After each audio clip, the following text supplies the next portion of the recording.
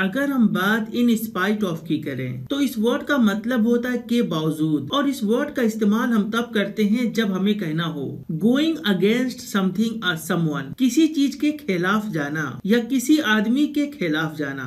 जैसे मान लीजिए अगर आपको कहना हो, Raju is going to play in spite of the heavy rains यानी तेज बारिश के बावजूद राजू खेलने जा रहा है। यहाँ मैंने अपने सेंटेंस से बोला इन स्पाइट ऑफ़ इसलिए इस वर्ड का सेंस है कि राजू किसी चीज़ के खिलाफ जा रहा है। यानी तेज बारिश होने के बावजूद भी वह खेलने जा रहा है। मान लीजिए अगर आपको कहना हो, Raju went out to play in spite of being warned इस सेंटेंस का मीनिंग है, चेतावनी दिए जाने के बावजूद भी राजू बाहर खेलने के लिए गया। तो यहाँ इस सेंटेंस का सेंस ये है कि यहाँ सब्जेक्ट राजू किसी चीज़ के खिलाफ गया, यानी गोइंग अगेंस्ट समथिंग जैसा कि एग्ज़ाम्पल में आप देख सकते हैं, यहाँ राजू चेतावनी पाने के बावजूद भी बाहर खेलने के लिए गया।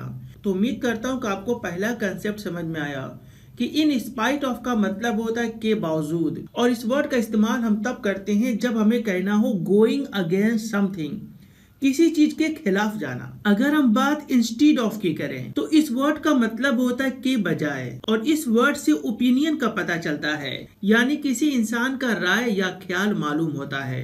जैसे मान लीजिए अगर आपको कहना हो he went out to play instead of sitting idle तो इस सेंटेंस का मीनिंग है, बेकार बैठने के बजाय वह खेलने के लिए बाहर गया। यह आप देख सकते हैं इस सेंटेंस में, किसी चीज़ के खिलाफ जाना, यानी गोइंग अगेंस्ट समथिंग वाला सेंस नहीं है, बल्कि यहाँ किसी की राय की बात है कि खाली बैठने के बजाय वह बाहर खेलना पसंद किया।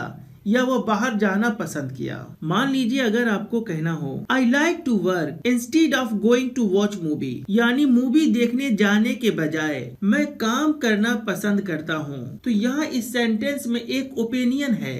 यानी किसी इंसान का राय है कि वो ऐसा करने के बजाय ऐसा किया। लेकिन इस सेंटेंस में किसी चीज़ के खिलाफ जाने का बिल्कुल सेंस नहीं। यानी इंस्टीड ऑफ़ बिल्कुल इन स्पाइट ऑफ़ के जैसे नहीं है। जैसा कि अब आप जान चुके हैं इन स्पाइट ऑफ़ का मतलब होता है किसी चीज़ के खिलाफ जाना या किसी चीज़ के विरुद्ध जाना।